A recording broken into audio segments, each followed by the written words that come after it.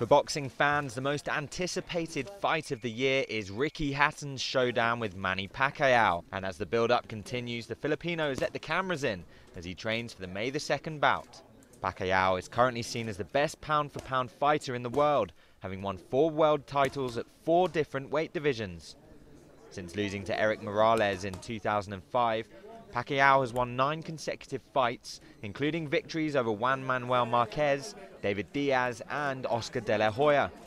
Now he faces the Hitman, the popular Mancunian who will be looking to succeed Manny as the world's best boxer.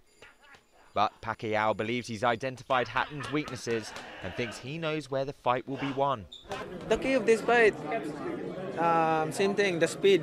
The speed will be the key of this fight. Um, I'm not underestimating Ricky Hatton's speed, but his his speed too. But I think I'm faster than him. In his corner is legendary trainer Freddie Roach, the man Amir Khan has employed to get his career back on track.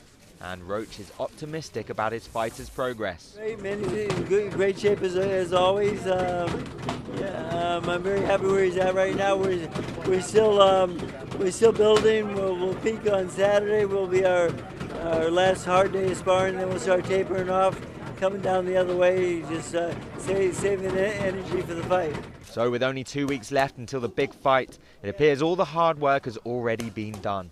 Now it's time to focus, save energy and hone the game plan as Vegas prepares for what could be one of boxing's greatest occasions.